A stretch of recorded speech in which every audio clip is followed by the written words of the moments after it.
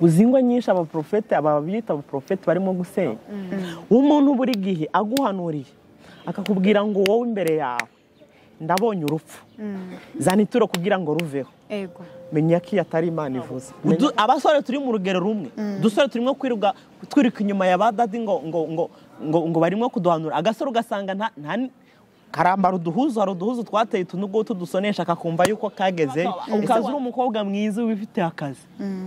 Ariko imana izabahana umuhanuzi umuhanuzi w'ikinyoma agahita akubwira ngo imana ivuze ngo ntuzongere gukora akazi kandi izokubesha kugira uze wirirwa umwiruka inyuma. Ego none gasha wowe urimo kwigisha umuntu mubana mu rupangu rumwe nyine inzu umuheraniye amezi atandatu. Nurangira ubwiye umuntu ngo imana irakubakiye etaje. Akavuga ngo ngo uzuriya ko bagiye kumusohora mu nzu mureke tuze tukigisha ubutumwa busa natwe. Uzigisha viza n'indege nta nubwo uranayibona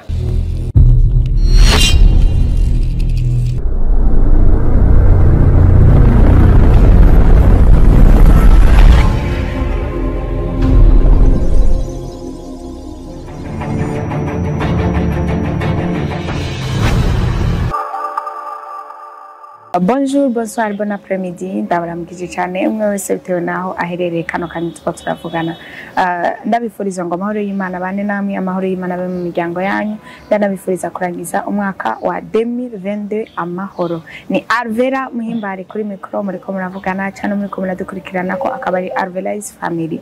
Ah, karibu cyane mu kiganiro cyacu cy'uyu munsi. Narabasezeraniye ko nzoza ndabazanira ibiganiro bitandukanye.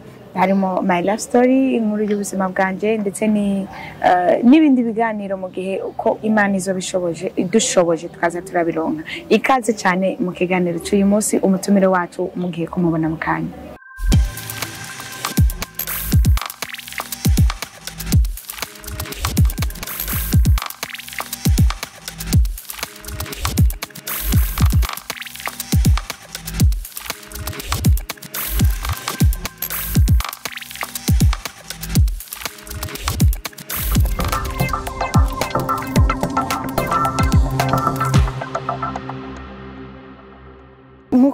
nk'uko twabibabwiye uyu ni we mutumire wacu tugiye gukorana emisiyo yacu y'uyu munsi eh, mu kiganiro cyacu my life story. Afite byinshi cyane aza kutuganirira nibaza ku bantu benshi bamaze kumukurikirana nta muntu n'umwe yigeze afata umwanya we ngo akurikirane ikiganiro ciwe aba umuhombe. Turaguhaye ikaze. Murakoze kutwakira ego. Yeah. jewe urabizi ko tuzinanye mba ndakuvugiye amazina. Ariko bakunda kuvuga ngo nta muntu w'umusore bavuga mu izina ahubwo ubwiwe nk'umugabo arivuga. Kaze mwidondora abantu ariko baradukurikirana murakoze cyane abadukurikiye turabasuje mu izina rya yesu. Mm, amazina ni bahati israeli ego. Ndi umuvugabutumwa bwiza. Mpamvu mvuze bwiza ni uko ari ubutumwa buhindura benshi. Mm. Hari ubwiza hariho n'ubutari bwiza. Mm, bitewe n'ubwo bavuze. Ndi umukozi w'imana. Azavuga ngo imana ni nyinshi. Mm, je nkurera imana ibyagiye mu ijuru ibizima n'abasirafi bakayiramya. Imana ibangukira gutabara abona biri butinde ikagendera ku ibaba ry'umuyaga. Amena niyo nkorera. Amazina na yo imana ibaho umugisha. Murakoze cyane. Nk'abakozi b'imana twese reka ndagusabe ngo dutangure n'isengesho kugira ngo imana ize gushobora kubana natwe karibu.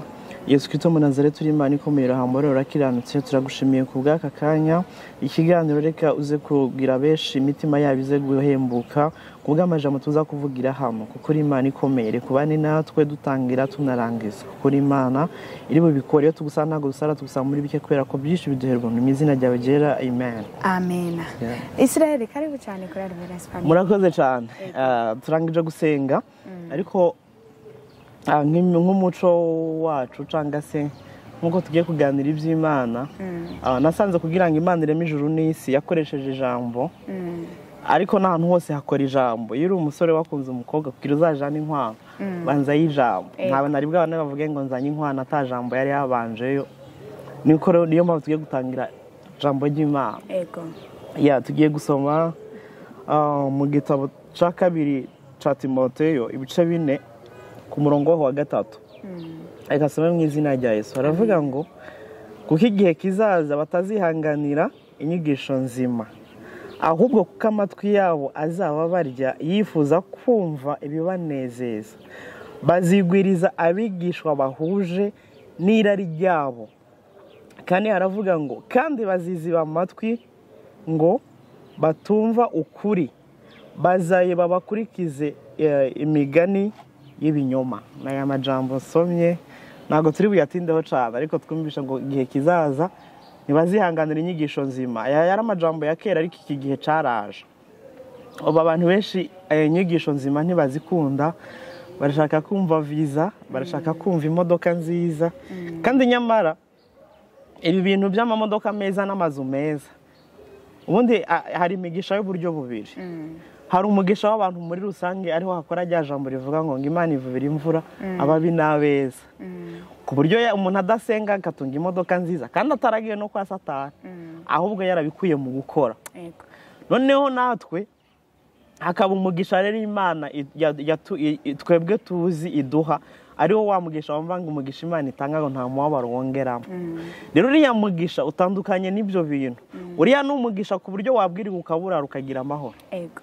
Niwo mugisha imana iziduha ari byo abantu benshi rero iki gihe bigwiriza ngo bazigwiriza abigishwa ba- babigisha ibyo bashaka. Ni ukuvuga iki gihe bagwiza aba batumira ba bantu bazi yuko baza guhanura amaviza. Umuntu agahanura viza ariko atazi ku kanyaru. Ariko ngahanuye zijya muri amerika rese pase ntayagira.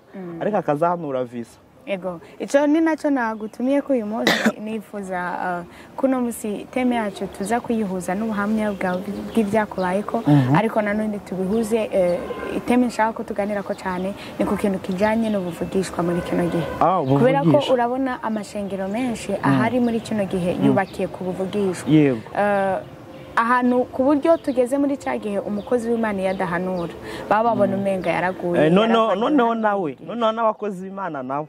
Adafite n'iyo mpano. Akavuga ati ndahanura. Mm. kandi iyo mpano atari iyiwe kandi ijambo ryaratubwira ngo yamwe yabahaye kuba abandi bamwe ko bavugishwa abandi gukoreshwa ibitangaza ariko bazashaka n'ibyo atahawe na byo abyitwa. Ego. Eh, ariko iri jambo twasomye rya bitubwiye ntabwo ndi burisobanureho cyane. Ariko ryatubwiye ngo ngo baziziba amatwi niyo mpamvu wigishije ku caha baca biziba amatwi. Uvuze ngo mwihane mugenzi uko bariziba amatwi baravuga ati mbese mu yandi majambo barashaka gu- guhora bajya utuntu twiza tworosha babwiye ibikomeye baca bavuga ati ibyo ntabwo ari ibyacu. Babwiye kwihana bavuga ati ibyo si ibyacu. Kandi nyamara burya imana tuvugaho ngo mwana wanjye nzakugira neza nzagukorera ibi. Ibyo nubwo tuza tubyita isezerano ntabwo ari je ndabyita nk'isezerano. Ndabyita impamba yo kugira ngo dukomeze urugendo. Nka kurya kera hari ukuntu twajaga ku ishuri bakaduha impamba. Ntibyari bivuze yuko nituyibura tutagenda ku ishuri. Ahubwo kwari kugira ngo badushigikire tuze ku ishuri tuze kwiga neza tudashonje. Ariko ntibivuze yuko ushonje wahita uta amashuri. Ariko ubu turumva nyine n'ibyo imana yadusezeranyije. Ibi ni byo udukorera imana twabona ikiganza cy'imana ikatugirira neza. Ariko nubwo it- nubwo itatugirira neza ikirenze ibyo hari ubugingo buhoraho yaduteguriye yego sinzi nta niyo twatangira. Ya turashobora guta- gutangira. Ikaze cyane muri uri kuradukurikirana mu kiganiro cyacu cy'uyu munsi kandi ndakwizera ko uza gukuraho inyigisho nyinshi ugire n'ibihe byiza. Israel eh, nigeze kumviriza intahe yawe? Uri kurigisha igihe wari uri muri eliminate sinzi niba eh, freemason na eliminate ari kimwe. Mm. Uri kurabyigisha eh, wigisha no ku kintu kijyanye n'ukuntu mwahora mutera abakozi b'imana. Mm. ese eh, mu buzima bwawe ugitangura gukizwa? Woba eh, warigeze kuba umufo pasiteri umukozi w'imana wo mu kinyoma ugatuburira abantu ukababigisha ariko ubivanga ni- n'ibyo bintu Oh, ntago nigeze mbiba ngo umukozi w'imana w'ibinyoma Mm, ahubwo hari ukuri ntavuga. Eh, hari ukuri ntavuga bitewe n'ahantu nabaga ndi nkavuga ati nimvuga ukuri kubera uwo muntu abikora. Mm, nta kandi wenda yongabira n'agashati ntakaza kungabira. Urabona bivuga byose. Ndiyambika byose. Nta- ni ukuvuga ngo ubu ukuri kose kurajaho kandi n'abakozi b'imana dukurikiye hari ukuri batavuga ah, batavuga bitavuze yuko bahita bavuga ikinyoma. Ubwo hari ukuri banka kuvuga bitewe n'abo bantu babona avuga ati nino mvuga uku kuri uku uwo muntu kuraza kumukorako. Mm, sibyo rero ni kumukoraho ntabwo aza kuwufasha sinigeze mba ngo ngende ngo nubure abantu mbe mu b'ikinyoma. Ahubwo icyo gihe bitewe n'ibyo navugaga ashobora kuvuga ati "Na- naragiye muri amerika noneho bareba ukuntu nambaye akabaga ati umuntu ntabwo yagiyeyo. Mm, bitewe n'ukuntu bambona. Noneho we ntibabyumve sibyo noneho icyo gihe rero ntibyari byoroshye kugira ngo bemere ukuri. Ibyo nababwiraga ntabwo babyumvaga. Narababwira ati narababwira ukuntu ababwira ati ibyo gushingiranwa n'umugabo akavuga ngo ibyo none ngo biraba ariko ubu ngubu basigaye babona ku mugaragaro umuhungu n'undi bakaza bashingirana. Bishatse kuvuga ngo ico gihe hari ukuri ntavugaga. Ariko sinigeze ngira ngo ngendere mu by'ikinyoma ahubwo nakomeje ntegereje imana. Navuga ngo reka nihangane. Kubera ko nari nzi ibyo- ibyo navuyemo. Kandi n'urugero nimba narahoze muri eliminati nkaheba byose nkakurikira imana. Wumva nta kintu cyari gutuma nongera kugenda ngo mvuge ibinyoma ahubwo navugaga ukuri kw'ijambo ry'imana. Abashaka bakabyumva cyangwa bakareka. Ari na yo mpamvu kenshi mu biganiro ntatavuga ngo baba bishakira ngo amaviyuzi ngo canke ngo bamenyekane. By the way ubu ntabwo ndi mukiri ba bantu bavuga ngo turashaka tumenyekane. Sibyo? Ego Ah, baratumenyekeye mu biganiro twagiye dukora bitandukanye kandi je nta cano nagize. Kutagira cano ni ukugira ngo natavanga ibintu tubivuga dushaka amaviyuzi ngo twinjize niyo mpamvu ubona mu nkenera nkabaha ibiganiro. Hari n'abazi ngo iyo tubaha ibiganiro ngo muduhe ifaranga. Ariko siko bigenda. Ni na yo mpamvu n'aba- n'abo ibiganiro bose imana izibagura kubera ko barimo gutuma amabanga ya satani cyangwa se ah, ibinyoma benshi bakoresha. Bigera kure benshi bakabyumva. Ego. Ariko sinigeze nkora ikintu cyo kuvuga ngo abantu mbapfunyikire mbahe ibintu bya fake. Ngo ni uko ndi mu buzima bubi ngo kugira afungure. Eh, ku bakunzi ba isirayeli basanzwe bamukunda isirayeli mu buzima bwiwe bwa minsi yose yakora iki? Ah, cyakora ndi umuvugabutumwa bwiza ariko ndi no mu modo. Ego. Iya ndi umumodo ni ibyo ngibyo byo nza nkora. Ibyo bintu by'abamodo bimenyerewe hano cyane cyane hano iwacu ba- ku bantu bamwe bamwe baba bazi ko bikorwa n'aba- n'abapagani. Abafagani ego. Oya ni akazi nk'uku nguku nkawe nka rivera ukavuga ati shaka kuberwa zoje tujane mu isoko cyangwa ahantu runaka. Ah, mbegwe undebere ikara na- yambera kubera ko utamenya amakara n'ibiki ah, amabara hari igihe umuntu yikorera amariyaje agahita yambara ibara ryo kuja guhamba umuntu. Rero ibyo byose ah, nza mbikora. Ntabwo mbikoze nka purisite kubera ko je navuga ko ndanahenda ndazimba cyane abo mbikorera ah, ni ukuvuga urambika abantu ufite ahantu Ah, ah, ndandaza. Ego. ahubwo nk'uku nkawe uravuga ati shaka kuberwa nkashobora kugufasha nka- nkagukorera ah, ukaberwa nkavuga ati kuri kuri umunsi ubu n'ubu ufise uzambara aya mabara. Canke uzakoresha iyi fashion. Okay. iyi modeli wakoresha iyi modeli kugira uberwe ibintu nk'ibyo. Ubwo ni bwo buzima bwa minsi yose Eh, ni bwo yasigaye buzima yawe. bwa minsi yose kandi ni- ni bwo bunatuma nidegembya bituma nkorera imana cyane nisanzuye. Ah, ibindi na byo shigikirwa ah, muntera intege kugira ngo nkomeze mbikore neza shigikiwe n'umukunzi wanjye Yeah. Ah, isirayeli arafite umukunzi. Bikaze noneho ndi mu rukundo abantu benshi barakunda kuvuga ngo abakozi b'imana ni bakoze kuvuga abakunzi ahubwo ikibazo? Cyane cyane nk'aba bantu b'abasitari n'urugero. Ah, wenda badushira mu rugero mu rwego rw'abasitari sibyo ariko nkanje nk'umukozi w'imana sibyo hari ukuntu nyine bazi yuko je hari igihe nkora nandika nk'amajambo yo gukundana kuri sitati shavuga ngo yiwe ngo nawe uri umukozi w'imana. Hoye umukunzi wawe namwita shushu ah, none muri bibiliya. None tuze tubyuka tubabwire ngo suba muri matayo. Ego. Ugomba ariko kuvuga nanone salomo nawe yarabivuze ngo umukunzi wanjye ateye ni byo. Birimo muri bibiri ni byo. Noneho bo- bo- babonye twanditse amajambo y'urukundo. Cyangwa tugashyiraho akaririmbo ko k'urukundo urumva gushyira kuri sitati akaririmbo k'urukundo gatanga mesaje cyangwa ku mukunzi wawe ni ibintu bisanzwe. Ariko bahita ngo yewe ngo yawe ngo ndabona yarapagaye. Rero tuze du umukunzi wacu umukunzi w'ufise uzi ukunda azabyuka mu gitondo asanga yamurungikiye igisirimba cy'iminota icumi mboneye n'akajya ko kubaza isirayeli tukiri ngaha nyine. Ku bakobwa bakundana eh, bari muri fiyansaye cyangwa abahungu. Biremewe ko umukobwa n'umuhungu batarubakana bashobora gusomana? Bashobora gusoma. Ego batarubakana. Mm. biterwa n'uburyo basomanye. Eh, ntabwo ari ugusomana. Sorry ndabivuge nka kujya wumva um, biraneza ariko ndabivuga. Wumva ngo ba imunwa ku wundi. Mm. Eh, ibyo ibintu ntabwo byemewe. Ariko bashobora kuba babikora ari amakosa wenda bakabyisangamo. Mm. ariko nk'ahangaha nko kwitama ni bon. Ego. Eh, nko kwitama ni sawa. Mm. Urukundo nyine hari ibintu bituma twisangamo ariko ah, tukaberaho maso kugira ntibitwinjirira mu bindi bintu bitari sawa. Ego. Eh, ariko hariho ibintu wakora bitewe n'uko mwasomanye mugasanga byabaganishije ku caha rero wa- navuga ngo kubyirinda ni sawa kubera ko biba byakurinze ca kindi caha gikomeye. Ego. Ubu uramutse uri pasiteri uri mu rushengero. Abantu babiri bakaza bakakubwira ati pasita twebwe twarakundanye twarasambanye. Tumaze gusambana umu- umu- umukobwa dukundana namuteye inda. None nafashe umwanzuro w'uko twokubakana rukirisito nkamutwara.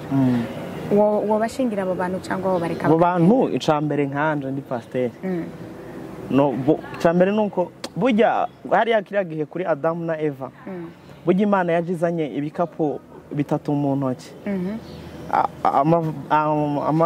ibikapu birumvikana Eh, ni urugero nk'amavarizi atatu amasakoshi atatu, cyangwa se basimvura mvuge amakado atatu yazanye imaze kubizana ni ukuvuga ngo yari yiteguye igihe ubwo bakoraga icaha. Ego bugije yaramucokoje ibabaza ngo muri hehe bundi imana yarabarebaga ko ari ukubacokoza kugira yumve ko bavuga ngo mbabarire. Noneho batabivuze ubwo urumva ihitamo kugira iki? Kugira ikintu iza kuhereza ikintu kimwe kimwe. Noneho ntibabibuze umwe yabyekaga ku wundi kandi ko ari ukubacokoza kugira ngo izo baze kumva yuko baza kuvuga ngo tubabariye twaguye muri iki caha. Ibyo bikapu imana yarizanye byarimo iki Ah, kimwe cyari kirimo imbabazi. Urumva zari imbabazi. Ikindi kwari kugira ngo iriya nzoka ize kugira iki ize kuyibwira ibiyikeneye urumva byagombaga kimwe kimwe kuza kugihereza ibyo ibyikwiranye na byo. Ariko bose barahagatiza. Noneho byavuye kimwe yakibwiye urazi inzoka yibwiye ngo izarinda ipfa ikwega inda hasi. Umugore aramubwira ngo azabyara arusha.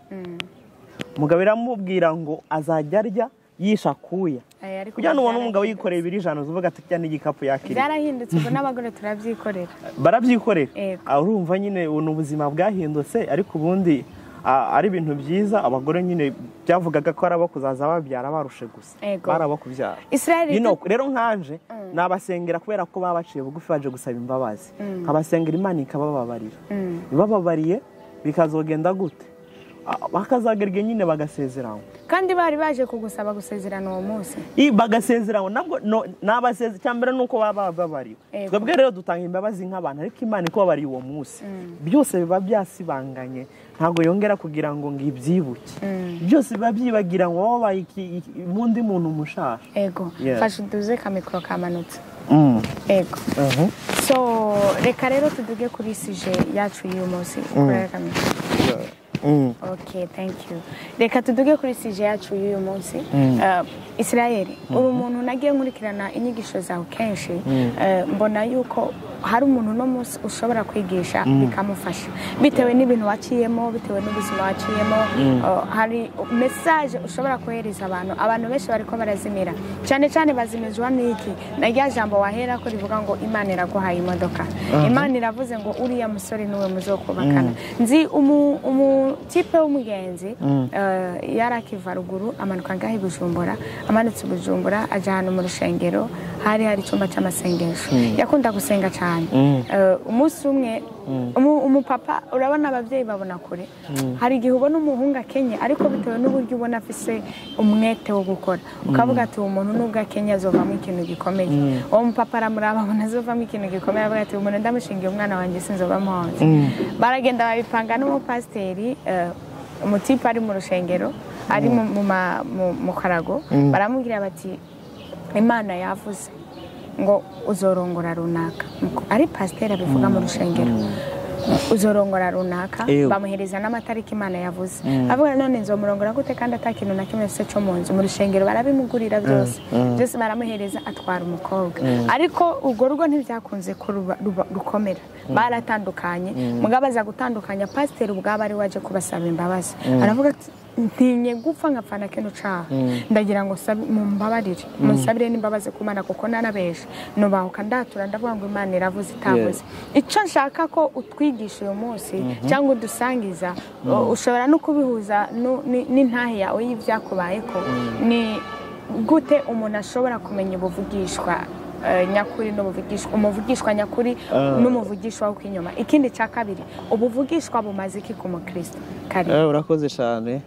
Eh, icya mbere eh, ubuvuze mbanze mvuge ko muvugishwa. Ah, ubuvugishwa bw'ukuri n'ubuvugishwa bw'ikinyoma. Urakoze cyane. Ah, hari ukuntu abantu benshi bazavuga ngo ngo ngo none ngo tuzamenya gute? Ngo tubwiye ngo buvugishwa bw'ukuri ngo canke ngo atari bwo. Mm. mbere biriya tubwira ngo buvugishwa bwose. Tuzabwemera ari uko busohoye. Ego kandi kanatubwira ngo buvugishwa bwose tubuseseshe ijambo ry'imana. Mm. kukubwira abantu benshi igihe cyose Mm. uzaba uri kurakora ibibi. Uri kurakora ibibi uri umukobwa cyangwa uri umusore. Mm. wagera mu rusengero umuvugisha waje kubwira ngo imana ikugiriye neza. Menya ko atari imana ivuze. Ego ariko ijambo ry'imana israel riravuga ngo ni imana igirira neza abeza n'ababi Ah, ndabikubwira. Mm. kubagirira neza abeza n'ababi ni wa mugisha navuze utandukanye natwe bw'abarokore. Uvuga ngo imana none se ibidutandukanya n'imana ni ibiki? Si ibyaha? None imana ikintu ca mbere ibanza gukora kuva na kera kugira ngo ikugirire neza. Ntabwo ibanza gutabara umubiri ibanza gutabara umwuka wawe wapfuye. Ibanza ikakubwira ibanza ikakugirira imbabazi. Rero ntabwo yo gukorera ibindi itarakugirira imbabazi. Ntabwo yavuga ngo iguhaye viza itarabanje kuvuga icaha wakoze. Ivuge ngo icaha wakoze ndakikubabariye. Ariko nyuma yacu ngiye kugukorera ibi. Ijya si imana iba yavuze. Ahubwo n'umuntu aba yavuze bitewe n'uko umeze akakureba uri inzobe abantu b'inzobe benshi nibo bahanurira amaviza. Kubera baba bareba ufise karazi y'aba burawuni y'abazungu nibo baha amaviza benshi. Mm. Ah, noneho nawe agavuga ati imana irayimpa. Viza ntago ari igitangaza. Bantu mudukurikiye umukobwa yaje gusambana agasaba viza akayibona. Akiye gusambana muri amerika. Akabona viza. Gutunga imodoka nziza si igitangaza. Mm. ijambo ry'imana tubwira ngo niwicisha bugufi n'ingororano yawe. Cya mbere ni ubukire Mm. cya kabiri ni icubahiro Mm. cya gatatu ni ubugingo buhoraho. Rero ibyo byose ni uko ari byo dushaka ko amatwi yumva. Mm. ariko si ho bihagaze. Si bwo buvugishwa twakabaye twakiye. Munatubwiye ko imana ituri imbere dukwiye kwihana tuba tuvuga ngo yanga iyo si imana ivuze. Ngo si imana ivuganye natwe. Wenda reka mvuga aka kantu. Bibiriya hari abantu bazavuga ngo bibiriya y'ikinyarwanda ngo n'iy'ikirundi n'iy'icyongereza burya ntibaho. Ahubwo bibiriya nasanze ari iy'abanyamwuka gusa. Mm. kubera ko umuntu arasoma ijambo akavuga ngo byose nzabishira ku murongo uko bikurikirana. Agasoma ijambo rivuga ngo ngo urabikora nka kora ukagira ngo mpwanye nawe. Atavuga ati risi iryanje. Ariko yasoma ijambo rivuga ngo noneho uyu munsi ndakubohoye. Atavuga ngo hareruye umva ni iy'abanyamwuka. Mm. bishatse kuvuga ngo ubuvugishwa icambere abavugishwa batuvugishwaho. Mm. icambere biri tubwira tutagiye no mu mwuka. Mm. Biratubwira ngo tuzabamenyera ku byo bama. Ibyamwa byabo. Mm. ariko babaye nk'abandi bavuga ngo zamureba ibyo mvuga ibyo nkora ntimubirebe ngo ntabwo bibareba. Mm.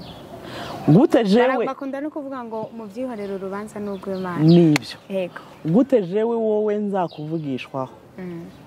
nkakubwira ngo imana iguhaye umugabo we nka arivera noneho byagera ku mugoroba nkahita nkubwira ati wanyemera tukaryamana reka ayo makuru ndayaguhe. Nigeze eh, niga mu rutana nararirimba muri korale ndirimba muri korale umunsi umwe hari ahantu hari igikorane numva umutima uransunika cyane kuja gusengayo.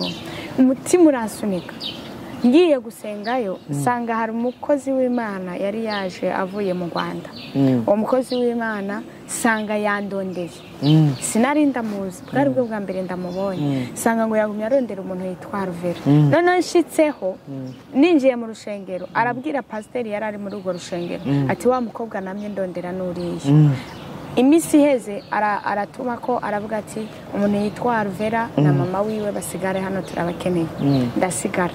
Abwira mama ati kubera ko bwari bwije umwana wawe turamukeneye nasigare ngaha umukozi w'imana bakeneye ko bavugana twashaka tumusabire uruhusha. Mama arababwira ati nta kibazo.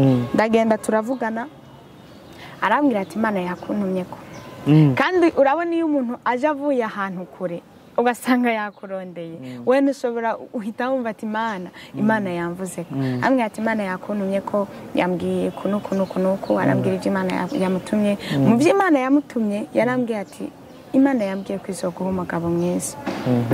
Izo guha umugabo mwiza kandi uwo mugabo arambwira ngo uwo mugabo azoza kwironderera. Aza bikwibwira ko ari imana yavuze ko azokubera umugabo. Sawa?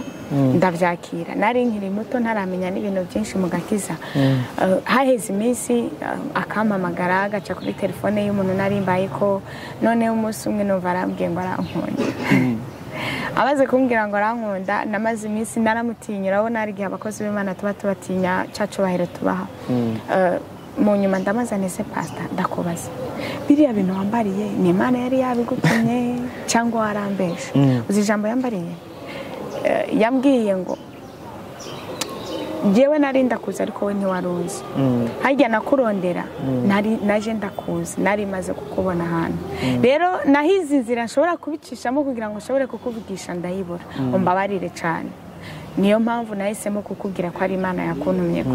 Ariko nanone ibyo nakubwiye ntikibujije ko byose uhorerega ndi umukozi w'imana mvuga ijambo riga- rikava- yani rigasohoka majambo yarihanuriye urumva uburyo yambeshe? Niyo mpamvu ngomba ko wigisha bano bantu bariko baradukurikirana. Kubera abantu benshi muri kino gihe bakunda ubuvugishwa. Gusumba ijambo ry'imana no gusumba kwihana. Cyane cyane muri zino nsengero ziri hano mu gisagara cya bujumbura. Hari ahantu ushobora kuja gusenga ugasanga umaze amezi abiri. Utigeze wumva babwiye umuntu kwihana. Banabwiye abantu kwihana. Bakababwira ngo bakigisha amaviza bakabaha imodoka barangije. Ngo hari umuntu atarakira yesu kirisito ngo aze tumwihanishe. Aho ni hake? Ntabyo bakora ibyo. Eh, hari aho mpemu yera agikora Eh. Bavuga ngo hari umuntu atarakira yesu kirisito ngo tumwihanishe. Aho rero ni hake urabyumva? Bavuze ngo ngo ibi bintu by'amaviza ngo ni iby'abantu bamwakiriye ngo kugira ngo nawe iyi viza uyironke n'iyi modoka ngo nuko bisaba kumwakira. Rero eh, maze iminsi ngira inama cyane cyane abakozi b'imana. Mureke tuze tukigisha ubutumwa busa natwe. Yego uzigisha viza n'indege nta nubwo uranayibona je nkubwiye ati imana irakurisha. Nagukonegita mu mavuta nanjye nuririyemo nawe ukurira none gashaka wowe ubwawe uri- turi- turimo gutuma imana itukwa cyangwa se ubutumwa butagaciro turimo kwigisha abantu amaviza. Nimba imana itaradusubiza dukunde gutanga ubutumwa abantu tubabwire kwizera bihangane ko natwe tucihanganye imana izadutabara none gasha wowe urimo kwigisha umuntu mubana mu rupangu rumwe nyene inzu umuheraniye amezi atandatu. Nurangira ubwiye umuntu ngo imana irakubakiye etaje. Acavuga ngo ngo uzuriya ko bagiye kumusohora mu nzu bamuhaye iminsi icumi. Oya bakunda kuvuga ngo ibigeragezo ni indya z'umukristo kandi ndabyumva cyane ariko nimba turimo kugerageza imana itaranadusubiza tureke kubwira abantu ibitangaza natwe imana itaradukorera. Tuze tubigisha uko dusa. Ni urugero nkanjye ngiye imbere ya kamera nkavuga ngo kera nta mpuzu nagiraga yo kwambara. Kandi abantu baranzi ngitangira gutanga ubuhamya si uku nasaga. Si n'uku nambaraga agafoto kawe ndakazi nigeze nangapositinga ntatavuga ngo umuntu ushaka gusa ngo ni papa wawe? Kubera iki? Nari ishaje rero urebye kiriya gihe hari muri deme dizuti dizinefu ugahita ureba n'ubu. Nubwo ntatanga ubuhamya mvuge ngo imana yaranyambitse. Wahita ubibona. Ko byabaye. rero niningisha nkababwira ati imana yankoreye ibi n'ibi nari naboraga ico nambara none ubu yaranyambitse. Si ngo ntibahita bagira barabyizeramo kubera ko mba ndi umugabo wo kubihama. Rero ubu uvugishwa igihe abantu benshi ni bwo barimo kwirukankaho. Nyamara ijambo je ibingibi byo kurira mu ndege nkagenda ahantu runaka. Nta muvugishwa yigeze abimpanurira. Ahubwo nari mfite isezerano imana yari yarambwiye nkaza ngenda ku musozi nkihanurira ariko ukuntu abantu bambaye na yo badahanurirwa sha? Noneho ubwiye wambaye neza akaba ari we bahanurira ibyo byiza. Amanzi ureke hari n'ukuntu ugenda mu rushengero?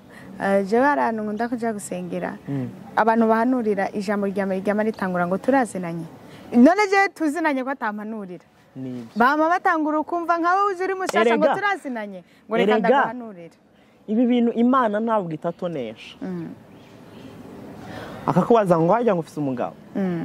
Ngo hoya ngo imana iguhaye umugabo. None ko wavuze ko atawufise kandi ijambo ryane rikaba rinavuga ngo nta kigore kizabura ikigabo nta n'ikigabo kizabura ikigore aca nkubwira ngo imana iramuguhaye. None kubera ko ntabivuze. Noneho hari n'ababakira banabafise Yego. bakababwira imana iguhaye umugabo kandi umufise. Wavuga ngo ndamusaga aca avuga ngo si uwawe. Si uwawe gute mwarubakanye? Mwebwe mwikundaniye. Uzi ingo nyinshi abaprofete aba biyita abaprofete barimo gusenya. Barimo gusenya ingo nyinshi ngo imana yavuze ko uriya mugore atari uwawe. Abakobwa barimo gutesha abagabo. Ngo uriya mugabo si uwe kubera ko ata- adafite ubutunzi ngo aze guhaho porofete nk'ibihumbi ijana. Eh? Profeta asigaye ashingira umukobwa wiwe ngo ngo ni dadi we ngo je ngo ngo nka so wawe w'umwuka ngo ugomba kuja ku mugabo ndaguhaye. Nabo bareke baze ba- baze ba- baze bakomeza birukanka inyuma ya ba dadi. Nibaza bagira abagore ba kabiri bye byaranyobeye aka kadadi turakagaruka ko mu nyuma ari akantu tutararangiza ngaha ni gute umuntu ashobora kumenya ubuvugishwa bw'ukuri n'ubw'ikinyoma yani urakoze kubitandukanya ku buryo Urakoze jewe nk'ubu nje imbere yawe umuntu akampanurira mpita numva ati kabisa hano uwo muntu arantubuye icambere. Banza umenye ikirere. Waguhanuriye ikirere aguhanuriyemo. Hari ibirere bitatu. Mm, hari ibirere bitatu. Mm, icambere ni iki- ni ikirere duhuriramo twese yaba umuhanuzi w'imana mm, cyangwa abapfumu. Ikirere cya mbere tugihuriramo. Ni ikihe? Ni ikirere cya mbere duhuriramo twese. Umupfumu ukagenda akakubwira ngo ngo ufise umwana yitwa uko ari umupfumu. Yego urabyumva ufise umwana yitwa uko aya mazina ari umupfumu? Akakubwira ati hepfo yawe usimbye inzu zitatu. Hari umuntu akuroga ari umupfumu. Noneho waje no ku muhanuzi w'imana nawe akubwira ati "Ima- akakubwira ngo Mm, wowe hari umwana yitwa uku kandi ku- hepfo inzu y'umubare ubu n'ubu hari umuntu akuroga. Icyo ni ikirere rero ni ukuvuga ngo abakozi b'imana bare- barabiramwo Mm. hakaba n'ikirere na- n'abapfumu n'aba- n'abarozi na satani arabiramo ni umwuka ni iki? Ni umwuka. Ariko mbyita ikirere nyine mu buvugishwa babyita ikirere. Mm, hari umwuka mubi n'umwuka mwiza. N'ibyo. Eh. ibyo byose rero ukabibona. Mm, ariko aho bitandukanira hakabaho ikindi kirere kibamo imigambi y'imana gusa. Mm, urabyumva habamo imigambi y'imana.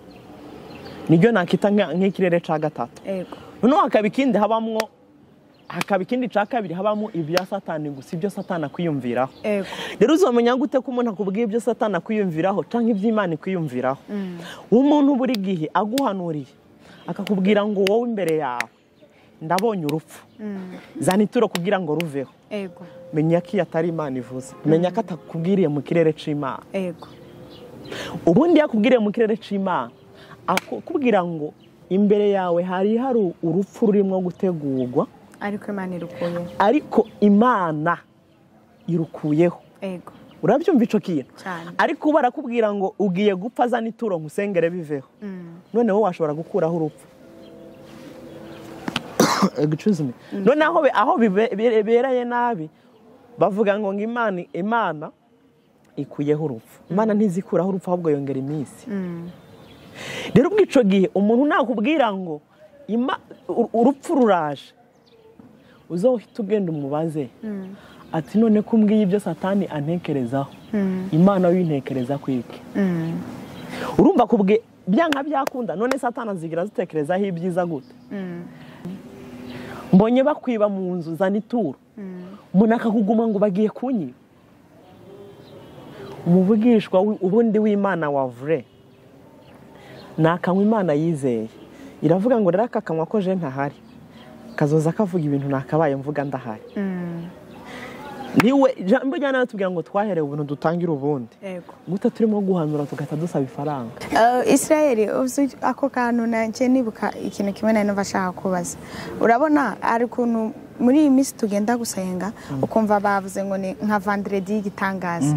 Umunsi wa gatanu w'igitangaza umunsi wa gatandatu w'igitangaza ngo uzoze uzanye ituro ryawe. Rihuye n'ikintu wifuza ko imana igukorera. Urizane hama ndagusengere. Ibyo byo urabivuga ko iki? Ibyo uh, nta vandredi y'igitangaza ibaho Mm, nasomye ijambo rivuga ngo ngaha rukurira mm, ngo haza harara harira umuntu. Mm. Ngo ariko bwaca mu gitondo. Impundu zikavuga bivuze ngo ushobora kuryama ubabaye Mm. ugaca mu gitondo ukabona igitangaza cy'imana. Ntabwo bivuze ngo ni vandredi ngo ni lendi ngo ni sangapi. Mm. ibyo ni ibinyoma niba abandi nyine baba bashaka kwiba abantu ngo bazane ituro ngo, rihuranye n'igitangaza bashaka Israel bikora abapasiteri benshi hano i Bujumbura nyine abo kubikora nzambe nkunda kubivuga. Hari abavugishwa n'inzara. Mm, bashaka ibyo bashira mu nda mm, bashaka ah, mu yandi majambo reka mvuge aka kantu Yego. imana yaduhaye izi mpano kugira ngo tuzikoreshe twagura ubwami bw'imana. Rero hari abo imana yazihaye bagahita bazikoresha mu kwagura ubwami bwabo. N'inda zabo. Iyi rero abagura ubwami bwabo nuriya ashobora kuba afite ikimodoka cyiza akaba mu nzu nziza ahagaragara ari kuri podium ngo mutange amafaranga tugure microphone. Y'ibihumbi majana atatu. Noneho waguze imodoka wananirwa kugura microphone. Ahubwo ikindi kibazo kubera ko abapasiteri kenshi eh, iyo ese mwebwe uwo mugisha ntimuwushaka iyo bariko baritangisha mu rusengero kubera ko bo badatanga. None se batange kandi arimo kwagura ubwami bwabo? Gute ugira imodoka nziza ugendera wowe wa mupasiteri niba udukurikiye. Mm. Eh? Ariko ukaza ugora n'abakristu bawe niba ari n'agasaru kose ngo mukishu. Waguze imo- waguze babwira ati mu- mubikore. Kubikora kubabwira mubikore simbyanze. Ariko ugahita ureka gushiraho n'itegeko ngo abaza kubikora ngo ndabasengera ngo ndabahanurira ngo ndabaha mesaje yabo babikora kandi je bamaze kunjya menshi. Ahubwo bakujya buke. Igihe cyose ba- bagiye kutwitangisha batubwira ngo wowe abatanga kandi kenshi bahera ku bihumbi ijana. Bakatubwira ngo uko uza gutanga menshi niko uhura n'igitangaza hari ahantu bakora amakosa. Bakavuga ngo imana imubwiye ngo usengere abantu batanu batanze ijana ijana hagasa haza cumi. Yego none ko udasubiza inyuma batanu. Ko yari yakubwiye batanu? Nimba ari imana yavuze ko yari yakubwiye abantu batanu hakaza cumi ko batanu utabasubije inyuma. Mm. ni ukubera iki? Barimo kuzana utuntu twabo tw'inzara bafise n'iki niyo mpamvu ubu ngaho hari abavanga ibyo ni wowe ngo uba uvuga ngo ngo uba uvuge ngo bazokugira nabi ngo kubera uri kuramena ngo ubufu ngo uri kurabamenera amabanga. Mm. negasha ndababikira amabanga ngo bazongaburire. Ko ntarya iwabo ko ntambara ibyo bampaye ko ntaba no mu nzu zabo. Aho ngaho nta nubwo ngendera mu modoka yabo ngo bazonyima lift. Mm. none abo ngabo nareka kuvuga rero abantu abantu rero kubera ko bamaze kubatwara ubwenge nabo benshi babakurikiye bamaze kuba nk'ibigoryi Mm. nk'ubu ngubu ndavuga nk'ibi bagataba ngo aya ngarangara babeshera ngo siko bimeze. Kandi barariwe ifaranga. Mm. jari wigeze kumbwira ngo imana imubwiye ngo ndamuhikira? Namubwira ati naragisengeye peti nawe ugenda usengera icaha Naragisengeye none irakinyatse Eh, nakoze ubutayu nahoraga nambara nimero zitankuye abantu bakambaza ngo ko wambara ikirato kinini. Nkababwira ngo nico nkunda. None ntangiye kwambara ibinkwiye ni ubukene. nashyizemo ibintu imbere kugira kinkwiye none nambaye kuyambarira akankwiye kameze neza ngo imana imbwiye ngo ndakaguha genda ubanze ukore ubutayu nk'ubwo nakoze nawe zakiza nawe wumva uko Eh, bimera. reka shaka nibaza ko abantu bari kubara erega nta mana iza yisabira. Bijya umuntu agwanura ngo imana imbwiye ngo uzane ituro. Abakozi b'imana ikintu kirimo gutuma bamena amavuta. Ni mwe mu yo gusaba. Urumva ibintu byo gusabiriza ni byo birimo gutuma amavuta ameneka.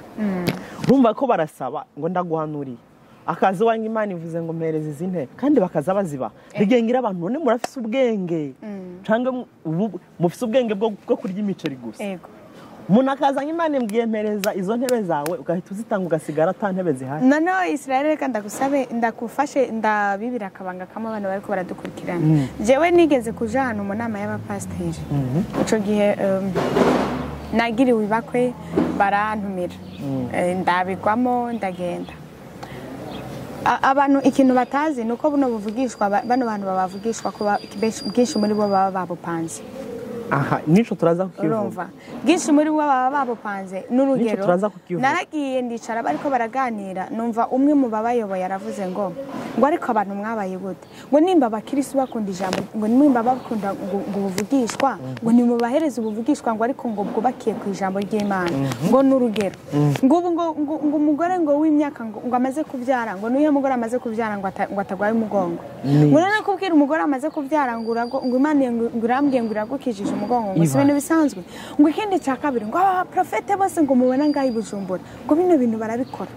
Ngo ushobora gufata ngo nta muntu n'umwe ngo n'ibisanzwe ngo fata abantu ngo ufate abantu bawe wizera nk'ubu urabona isirayeli bakakurungika iwawe bakaza bakavuga ati genda kwa isirayeli umuramutse umuganirize wowe ukaza iwanjye cyangwa nkaza iwawe ukambwira ati uzi ko mu ndwi zibiri nzo kurira indege ngiye muri amerika. Kandi ndi mu kugura televiziyo sha mama wanje aragwaye amaze igihe kinini ari mu bitaro. Ubimbwiye kwa gatanu nkagenda nkabibwira pasiteri. Ati buriya rero amakuru nakuronkeye na yo. Dimanshe wowe ukaza gusenga mu rushengero ukumva pasiteri arahagurutse ngo imana irambwiye. Ngo mu ndwi zibiri. Mu ndwi ikurikiriye urimo kuko nabyumvanye akanwa kawe. Uzokurira indege. Ngo kandi mama wamaze igihe ari mu bitaro. Navuga ngo imana iramukijije. Avuga ngo imana ngo ugiye kuza ngo ikore igitangaza. Ku buryo niyitanakira tubeho mu buzima bwo kwizera ni ukuvuga ngo aba bapasiteri bariko batuzana kubaho mu buzima bwo kwizera. Batukwege batwicarike mu rushengero ariko batubeshejeho mu buzima bwo. Ari na yo mpamvu basigaye bagwanira abakirisitu cyane. Us- hari uwo Gusumba numvisha avango- ejo nkwaye umukirisi ngo no kukwica no kwica none umukirisi uwo mwiba gute umwana we wenyine arakubwira ngo je ntidusengera hamwe waramubyaye. None barimo gupfa ngo abakirisi ngo babibye. Mm. umukirisi wawe niba niba aje akurikira ijambo ry'imana akaribura cyangwa nimba ibyo yaje akurikira atabibonye mureka aje ahabibona rero icyo kintu uvuze ahubwo uvuze ibintu biri hejuru cyane Mm. ahubwo iki gihe basigaye ba- bagira imi- imigambi. Mm. je nkaza wowe ndi umukobwa. Mm. hari abakobwa nyine bo kwa ba dadi abangaba akaza we kukuramutsa nka rivera yamara kukuramutsa barahari bagize nk'abamaneko akaza kukuramutsa. Urazi ko amo umusenzi Mm. yagira bagasanga hari intebe nziza baja no mu bakavuga ngo tuje no mu cumba dusengana ari umukobwa ntiwobyanga ati nta kibazo. Mukagenda mu cumba mukagira iki? Mugasenga. Mugasengana eh? Ako kanya kivaho. Ntubu uzi ko ari dade wa mukobwa. Ahita aguhamagara ndari bimeze neza ateye numva hari ibintu imana inyeretse kuri wowe. Mm. ati nta kibazo. Ati kandi ubu tuvugana. Ati nturi mu nzu ateye ati nanjye ubu tuvugana n'ubwo wowe uri ngaho. Ubu ninjiye turi kumwe mu nzu. Ati ese winjiye gute? Ati ninjiye turi kumwe. Ati ndakubwira kugira ngo wemeye ko ninjiye ateye ati muri saro hari izi ntebe zifite amabara tuje ni ho nicaye. Eh. reka rero ndagusange mu cumba. Tihashashe amashuka yera. Ndi ku musego ndabona udusego tumeze uku tubiri. Ndabona utwenda twawe wamanitse none wa mukobwa ntawe havuye atubonye. None uraza guhariye nuko basigaye batubesha tuca bugufi ukavuga ati ngaho vuga papa.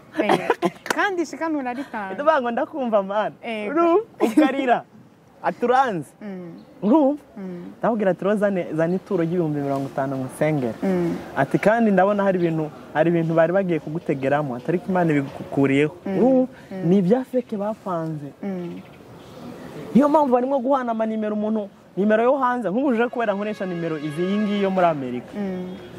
Hariho nka gurupe ndimo. Nkabona umuntu aranyobeyeho. Imana imbwiye ngo yakurije indege ngo ikujana gutura muri amerika ngo yagukoreye igitangaza ati ariko ndabona hari imyuka hino muri afurika ikiguhiga Mm. Mbese sinjye umunwa ca mvuga ati wanyemera tukavugana kuri apera ate Mm. none wokwemera ukihana ko numva uri umubesha Ego. je no mu itorero ry'abantu Mm.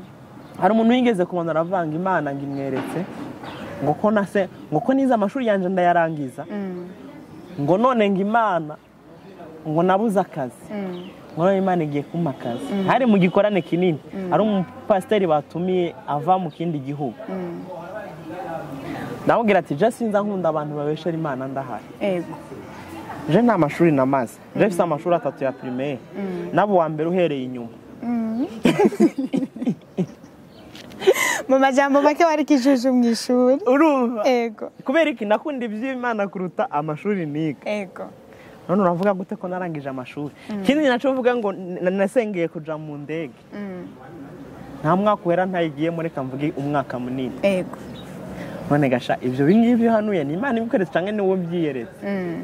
atavuga ngo ku isi ngo haba abantu basa babiri ngo usanga ari uwundi munsi navuga ngo imana ntabwo iza yitiranya amazina n'isura Ego. nyamuneka gufera abantu mubabera ego. Rero ni ukuvuga ngo n'aba bantu nabo barabikira ikinyoma abaprofeti bahaguruka bakaguhanura ngo imana iguha umugabo kandi umufisi wo mwakoze mariage ngo hareruya kugira ngo ntumumare amaze mu bantu. Uzahaguruka uvuga ati profeti ibintu uvuze si byo. Ikinyoma kigaragara ariko murimo kubabikira ibinyoma ngo none ngo naba ndamumaramaje mu bantu. None utamumaramaje muri abo bantu nyine abesha umumaramaza muri babiri. Ese isirayeli ubu buvugishwa ni ngombwa ku mukristo? Ku mukristo? Umuvugishwa wa mbere akomeye ni jewe. Ni ukuvuga ngo umuvugishwa wa mbere akomeye ni wowe uri wo kwihanuriye Mm. akanwa kacu karatura ibintu imana ikabikora ego hano hari abantu nzi bakatuwe akavidewo akawubona baragakase yavuze ngo umuvugishwa wa mbere ni we ni jewe ni nawe uri kuradukurikirana. Ni ukuvuga umuvugishwa ni wowe ku buzima bwawe. Akabaza katazabangunije umuvugishwa wa mbere ku isi. Eya wowe ubona barakase baragiye kukubeshera noneho umuvugishwa ahari. Wowe wowe ubwawe udukurikiye. Uri umuvugishwa wa mbere w'ubuzima bwawe. Wo kwiyaturaho ibyiza bikakubaho. Noneho uwa kabiri nizera ko ari ijambo ry'imana. Umuvugishwa wa mbere jewe kuri jewe. Nizera ko ari ijambo ry'imana. Uwa kabiri ni jewe. Ubundi ijambo ry'imana riza kuba ujya kabiri kubera ko n'iryo wagendeyemo waryivugishijweho ubundi wivugishijwe kugendera mu ijambo ry'imana urabikoze. None ijambo ry'imana uko uryakira niko rigenda rikwereka ibindi bintu bikomeye. Ntabwo dukwiye kugenda dukurikira ubuvugishwa. Yego ubundi umuntu iyo avuye mu rugo nuva mu rugo uvuga ngo ngiye imana imvugeho. Mm. kijya gihe uvuga ngo ngiye imana ikuvugeho. Nubigiranya n'uwagiye mu bapfumu ngo agiye mu bapfumu amurebera ibyiwe Mm. none ukagenda umuvugishwa bujya kugira ngo uzamenye umuvugishwa wa feke Mm. uzagenda umubwira ngo ndaje umvugishwe uzamenye ko ari igiporoporo ata bintu kigira. Kigahita gitangira kuvuga. None imana ni televiziyo dufite igahita igahita itangira gukora. Oya. Kubera ngo ujanye ituro ngo ntangiye kuvuga ngo imana ikugiriye neza. Kugirirwa neza n'imana ibyo si ubuvugishwa. Ijambo ryandi ribwira ngo nzi ibyo nibwira kubagirira. Si ibibi ni ibyiza. Abantu bose imana ibatekerezaho ibyiza bayikiranukiye Mm. hari ikintu wavuze ngo ariko ngo imana ngo igirire neza ngo aba- ngo ivubire imvura ababi n'abeza. Uri ukora ibyaha uri mu rusengero uri- ku ruhande rwa satani. Noneho umukobwa agasenga imana. Ariko ukaraga ari wa wundi w'umunyamasengesho agasenga imana yibwira ati imana amereza umugabo. Yamara y'akazi abona igipagani. Yego none icyo gipagani niba ari umumizirima akabona afite akamodoka kirabura keza. Ngo nzamusengera ahinduke. Mm. uwo muntu atarahindurwa n'umwuka wera uzamusengera ryari ngo ahinduke? Uzamusengera muba Je Reka umusenge- nawe. Kire ko umusenga avuga ati ndamukweretse n'ukuri muhindura Mm. yamara agahita agenda bakagira iki? Bakabana ngo n'imana imumuhaye Mm. Nimba warakira umugabo w'umupagani adakijijwe zureka kuja gushinga intanga imana yaramuguhaye. None imana ija, ija kwiba abapagani bo kwa satani yabuze abagabo yari kuguha mu bo ifise. Ariko imana yo kuba abantu satani bose Eh? abantu bose ni ab'imana Ehe. yego. Kandi imana mu kurema nta muntu yaremeye ngo uzoba umupagani cyangwa ngo uzoba Yego. umukristo kandi ikindi cya kabiri baravuga ngo buri muntu wese yavutse muri iyi si imana yaramugeneye umuntu bazobana niba jewe ngize amahirwe mabi ngasanga umugabo imana yangeneye ko tuzobana ni umupagani. Aha. numva byoca bigenda kijya gihe ura- urasenga uka- none imana iguhaye umupagani. None abapagani bari ku ruhande rwanda abapagani. Bari mu ruhande rwa satani. None imana yaje ivuga ngo reka nje kwiba satani uriya muntu wayo kubera ko abagabo abona ateguye nari kuzamuha abaheze ahubwo imana ifite ubushobozi. abantu imana kuba ari abayo. Sibyo? Hari ubundi utaravuka ubwa kabiri. Imana yarakuremye nyine urabaho. Ariko utari wavuka ubwa kabiri. Ntabwo ubura habaho abantu b'imana hakaba n'abana b'imana. None uri umuntu w'imana utaraba umwana w'imana. Urumva uri umuntu kuba yarakubeshejeho. Ariko mu gihe utaraba umwana we utaracika niyo mpamvu ijambo tuvuga ngo abamwemeye bose bakanamwizera baha ububasha bwose bwo gucika abana bayo none imana iraja gufata igipagani kirara namwe mwamara mukaza musenga ngo mana mpindurire umugabo wa mpano. Uvuga ati mana nihaye umugabo none ankozeho. Fasha umuhindure. Ahubwo biza bibaho. Ukazaba umwana n'umugabo asenga. Akazaba umupagani akagwa ariko nawe yari umurokore. Ariko rimwe na rimwe ni n'abo bantu mwita abapagani. Wowe umuntu wita umupagani n'umuntu aba ameze gute? Ni umuntu age- atagendera ata- atubahiriza ibyo ijambo ry'imana rivuga. Ese israel wowe nta munsi n'umwe buri munsi ntucumura? Buri munsi Mm. eh, gucumura bibaho. Ndavuga Ariko- buri munsi hari umunsi rirenga Eh, udacumura ndacumura. Ariko nkihana none ucumura utihana. Abapagani none bari- barihana ariko hari ingo z'abantu twita abapagani hano hanze zubakitse neza gusa none ibyiza ibyiza ni ukuvuga ngo kubera ko ukiri inkumi urumva icyiza cya mbere ari urugo. Oya ndiko mbariza abantu muri rusange nyine kubaka urugo ntabwo bivuga ngo warasenze cyangwa ntiwasenze. Ubwo ngubu arazi gufata umugore neza n'umuryango we neza arazi kubikora. None ubu ngubu wubatse ugafata umugore wawe neza. Byo kujana mu ijoro ariko nibaza ko ari kimwe mu bintu bizotuma imana igushimira. Igushimiye Yego. imana idushimira ntabwo izi ireba ikintu kimwe imana ngo kiba ari kigushimiye none imana wari uzi yuko je nogira? Nk'ubu ngubu nkaza afasha abantu umunsi wose nkawubafasha nkahita ndenzaho ibyaha. Nkahita nangira kwivayanga mu byaha. None izareba ngo ishimire ngo bya bintu kandi ntakire mu ruhande rwayo. Niyo mpamvu abantu benshi tugenda twibuza imigisha. Twatanga hari ijambo nasomye rivuga ngo ntimugatangize iby'umwuka muheruke iby'umubiri. Yego. Ntumva uherutse iby'umubiri ni uko nyine warayobye. Bishatse kuvuga iki? Niba uri umukobwa urimo gusenga imana uyisaba umugabo. Eh? imana wasenze wowe ihanganiye ukihanganira wa musore yagusabye ngo mu- umukore ibyaha bikanga ugakomeza ukihangana. Imana ntabwo izaguha umugabo w'umupagani. Ngo kugira ngo ngo abe ari we ngo ugira. Ngo abe ari we ngo mwubakane hari akandi kantu bakunda kuvuga ngo nasenze ndasaba imana ngo ngo nakuze nkenye nkurira mu muryango uciriritse ngo ndabwira imana ngo mana buno bukene sinzobupfiramo ubwo rero imana nitama umugabo afise imodoka sinzi bujumbura sinzoja kurongorwa. Ico je naco kivuga muri afise umuganga atabona umugabo afise imodoka. Eh, ngo ntazaja afise kurongora n'amafaranga afise n'inzu ngo nazoja kurongorwa. Ngo uko yarasenze abwira imana ngo mana nakuze nkenye sinkeneye gupfa nkenye. Niba ushaka abagabo bafite amamodoka cyangwa bafite amafaranga genda ukundane na besebe. Urakoze. Ukundanye na bake besebe nta mafaranga uzabura niyo modoka uzayigira. None usaba umugabo ufise imodoka ufise zingahe? None kaba afise ibyiza nabo bakunda kuronderana. Kumugwa simvuze ko yamukwiba. Ariko nitamugwa ntuzahita uvuga ngo ngo, ntabwo ari wo wanje. Abandi bakababesha ngo abagabo babo ngo bazava canada yabona uwina akamwanga dushaka aba diaspora. Israel tujya mu musozi rero ikiganiro cyacu Eh, hari ikintu kimwe cya nyuma nshaka ko tuganirako. Ni ijambo ryitwa dadi prophet meja apotre aya majambo aba bakozi b'imana bi- bi- aya matitire bafise muri iyi minsi. Cambere imana yavuze ngo icubahiro canje sinzagiha undi muntu ariko barimwo kubikiriya buri munsi. Hariho n'uwo n'umushinga yavuze ngo bamusengere ku gikerubi. Igikerubi ni igiki ni ibinyabuzima biba ku mana urumva ari- eh ashaka kuba umukerubi. Eh. urakoze ni ukuvuga ngo dutunge umukerubi wo ngaha mu isi. Ey, aba umukerubi kubera ko ayandi mazina bayamaze ubu ari ngaha i bujumbura iwacu? Oya Mm, ari hanze y'igihugu. ari- i rwanda. Okay. Urumva warashaka kuba hejuru y'ayo mazina. Yaba bishop baraje ba apotre baraje abaprofete baraje na ba dadi ese kwitwa profete bishop uh, dadi bi- bi- bi- bimaze iki mu buzima bw'umukozi ubundi uri w'imana umukozi w'imana cyangwa uri umuvugishwa n'imana?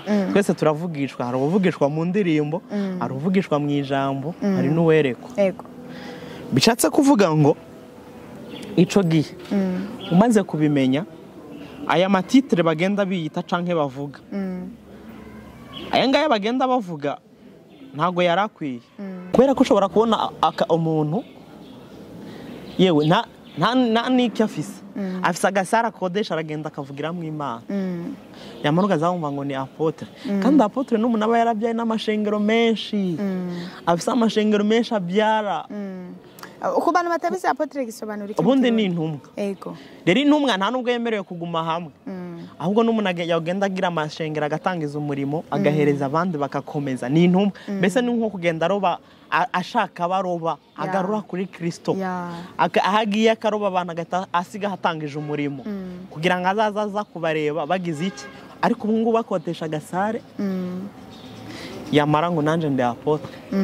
None reka nkuba reka mvugire ikintu ku- kugira ngo noneho abantu baza bavuga utuntu tudahuye babimenye.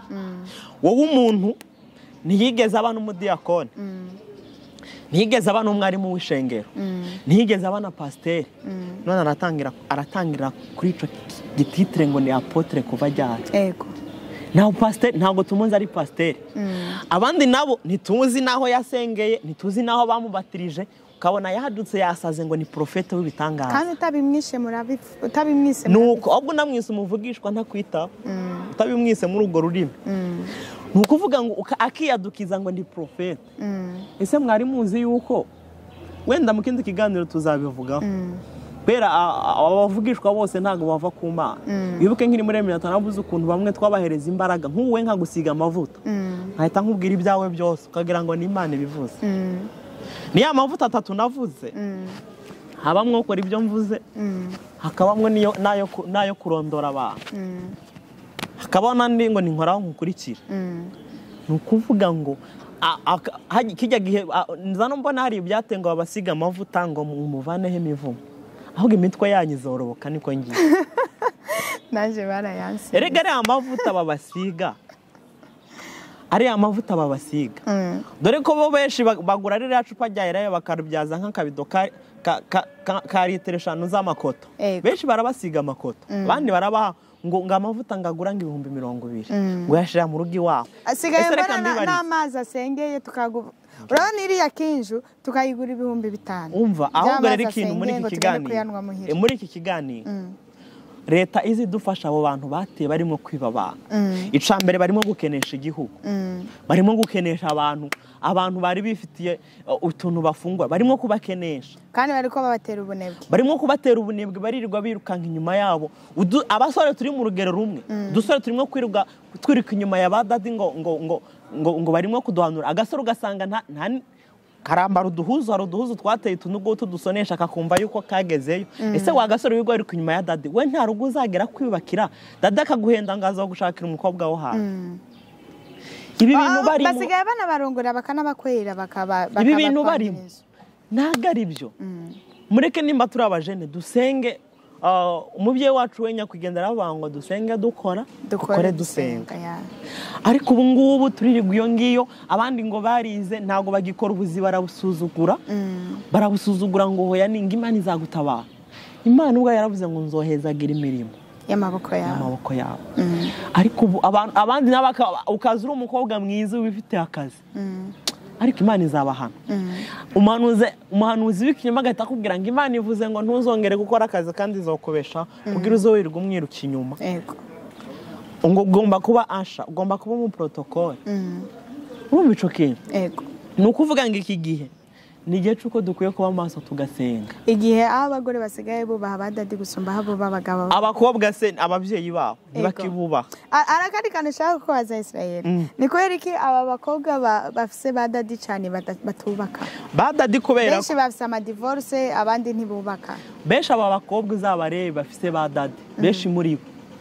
Ba dadi barabafuhira. Yego dadi ca mbere ntayamwemerera kuvugana n'undi muhungu. Mm. dadi nta n'ubwo mbigiye kure. Ba dadi basambana n'aba bakobwa.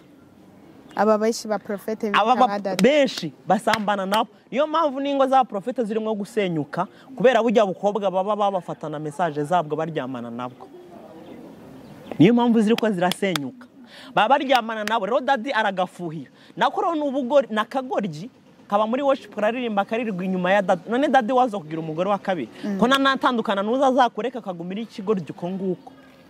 Abandi nabo ngo murakundanye ngo ujya musore dade wakabwira ngo ujya musore ntawe ushaka. None nimba mukundana umwiyumvamwo dade yakubwiye ko atawashaka gute? Ariko hari igihe numva nza ngira umujinya nkatekereza abantu none iki kintu? Gikozwe mu buhe bwoko? Maze iminsi mbona aba profete benshi n'abapasiteri benshi bariko barahukana. Nyine bariko barahukana. Bamwe babanye nabo bavuga ngo ni imana yabatumye. Mu nyuma wa mukobwa amenya ukuri yuko itabutumye. Abandi nabo barabana. Bariko ba- barasambana bagenda bafatana n'abandi. Yego bagenda bafatana n'abandi. Hari abagore b'abapasiteri hano hanze bashobora kuba bafise amarira babuze umuntu yaba pana amarira. Bafite n'amabanga menshi. Ariko banka kumena ngo bamukojeje isoni. Yego niyo mpamvu burya uyu mwaka urabona ko habaye amadiforce y'abaprofete benshi. Noneho umwaka uzaho bawitege kubera ko bagiye- kugenda babimenya bamenya ukuri kwabyo. Niyo mpamvu abenshi abaprofete bakoze amadiforce ntibasubirana kubera iki? Baba bazi amabwa n'ibibi ibibi byose bakora. Kumbe wamubwiye uzi ngo ni umuntu w'imana yereka kumbe wasanze atari byo. None gute a, umuprofeti ashobora kurara akubita umugore wiwe? Shaka kandi narabyumvise hanze ngo barabadira. Ahangaha ariko aba bagore nabo nabo baba abaprofete bakubitwa. Nabo ni inka mba ni inka mu zindi ziragirwa guta ugenda ku gatuti ukaba ngo nashima ngo umwana ngo ko yambaye umugabo mwiza ngo tubanye neza. Bakaja no kuri podium bagasomana barimo kujijisha wagiye ukavuga ati umugabo yarayamukubise wagiye kuri podium ukavuga ati umugabo wanjye yabaye igikoko mufashe mu musengere nubwo aturongoye ariko yabaye inyamaswa. Ariko bakaja bak- ngo barimo kubahishira amabanga ngo ntabwo byagenda uko. Mwa bantu mwe mudukurikiye? Mureke duce ubwenge. Bamaze iminsi ije banyiremeka ngo ngo none ngo kudashaka ngo ubuze iki ngo kudatora umugore ngo kutubaka urugo arakaba navuze ngo amafaranga yubaka urugo vuba. Ariko ubukene ni bwo buzabusuzuma ko rukomeye. Bishatse kuvuga ngo abasore na b'iki gihe? Barimo kubahenda. Cyangwa abakobwa? Ngo mubane ngo imana ihezagira babiri ngo izo bahezagira ntabwo mwapfa muri babiri se mwishwe n'inzara? Yego. Umusore wowe wa musore we Baragucu- aho uba baragucumbikiye. Nta kamatera kugira. Nta n'agaki ugira. Bagushoye ngo kora ubukwe ngo imana iravuze ngo kora ubukwe. Umukobwa w'abandi umutwaye. Umukobwa w'abandi ko yari ari iwabo yirira wowe uramuhurutura ngo uramuzanye. Hariho n'abirarira. Byabayeho ku muntu nzi. Akaza atira inzira imwe intebe hashira indwi bakimukira mu gashamburete ka kandi noneho ka danje mwamara ngo mu rugo mwarwanye. Ngo mwarwanye ngo umugore yakunaniye. Ngo ashaka gusubira iwabo ahubwo azosubira iwabo ataguseze none ko wamuzanye ibyo wamwijeje ufise atabihasanze nyamara jewe mba numva aba bapasiteri bafata umwanya munini bahanurira abantu. Ntibafata umwanya munini babigisha icyaha. Bafata umwanya munini babigisha uburyo bakwiriye kubaho. Bagwane na buno bukene bwabo. Kubera ko na divorce nyinshi ziriko ziraba urugero. ziterwa n'ubukene buhari. Nibyo. Urugero w'udukurikiye. Ko baguhanura ibintu byinshi. Imana iragutabaye kugiriye neza. Ndabona ibi. Ndabona ibi. Kubera iki? Impamvu bitafashe ni uko byabuze fondasiyo y'ijambo ry'imana. Mm, ijambo ry'imana niyo fondasiyo. Mm, bwa buvugishwa bwakwa bwashikamaho mm. bikaza bikunda Yego. ariko ubu abantu bari mu kutamenya bari mu bugoryi ntabwo barimo gushaka gukora ngo imana yaravuze. Nabo rero bahigira utujambo twihumuriza tubafasha mu bunebwe. Ngo hahirwa ko wizeye ngo ko ibyo yabwiwe n'umwami imana ngo bizasohora. Yego. ninde yakubwiye ko bizasohora? Wowe utagize ubushake muri byo wagiye urivanga mu byaha ngo imana yambwiye ngo ikizagikora ngo imana yambwiye mariage izayikora. Ninde yakubwiye ko mariage rega none abapagaye nta mariage bakora? Barazikora. Imana nubwo itavuga mariage yoba Israel utubazo tutatu twa nyuma. Hari umuntu umwe yavuze ngo impamvu ituma umuntu akena ari umukristo si ukubera ko ari ikigeragezo ahubwo ni uko atakoze. Ngo kubera ko hano hanze hari abapagani benshi ba- ba- bakora kandi bagatunga kandi ari abapagani. Ibyo ni byo. Impamvu aba- abakristu ba- bata- bakena impamvu urabona iyo dukenye mu rusengero baratubwira ngo ni ikigeragezo cyangwa niko imana yabishatse. Ariko baravuga ngo impamvu bakena ni uko badakora si uko ari ibigeragezo biba byabateye. Wowe urabivuga ku iki? Ibyo ngibyo nange ndabivuga cyane. Nobishigikira cyane. Rero noneho mpita mvuga muri ubu buryo. Mm. hari ukuntu uza tuja gusenga ngo mana ngo duhe amafaranga ngo mana ngo ibi amafaranga tuyabona dufite ikintu twakoze Ego.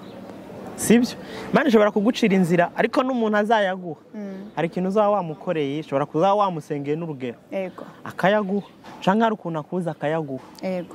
ariko ubwo ubukene bwinshi buza Mm. ni ukudakora urumva babaye abanebwe Mm. imana izongeza aha Mm. Ah, barimo gusengera imigisha imigisha ntibayisengera barayikorera Ego. urakora ukabona umugisha Mm. Ntabwo bagenda ngo bawusengere ngo uraza huye n'ibikumbi. Benshi rero barimo gukena kubera iki? Kubera kudakora. None icya kabiri navuze ko ari utubazo dutatu. Mm. ikibazo cya kabiri. Mu myaka yose umaze kubaho kugeza aho ugeze uyu munsi ni ikihe kintu isi yakwigishije? Wize umaze kwiga mu buzima wogira inama abandi. Ikintu yanyigishije gikomeye. Mm. ni abantu Mm. Abantu ni cyo kintu yaranyigishije umuntu ku buryo ndamumenya ndavuga ati kumva umuntu ni uko ameze. Wamwize gute? Ukuntu namwize? Mm. narabizeye. Mm. narabize nizeye abantu mbese. Mm. nagiye nizera abantu. Mm. Eh? je ngeze kuri levo ataba pasiteri icumi ngira two two kwicarana ngo tuganire. Ahubwo noneho nta na batanu ngira ngo two kwicarana tuganire. Bari guhita bazana ishano ngo bame. Kandi birezi cyane muri iyi minsi mbivugiye imbere ya kamera si uko napaganye si uko naguye. Mm. si uko naguye mbivugiye imbere ya kamera. Mm. ndasenga n'umwuka w'imana undimwo. Mm. sibyo Mm. senga ubwo mbivuze ndanababaye cyane kubera iki kibazo. Ukuntu mbivuze umwuka w'imana undimo iki gihe aho kugira ngo nicarane n'umupasiteri abyiyitirira atari uw'imana kubera ko aba bakora ibi ni ababyiyitirira Mm. aho kugira ngo nicarane n'umupasiteri abyiyitirira atari we. Mm. porofeti abyiyitirira atariho kugira ngo twicarane. Mm. nicarana na shehe. Abashehe je nibo dusangira. Kubera iki? Abapasiteri bari mu mwuka w'imana bariho ariko ntabwo turahura nabo.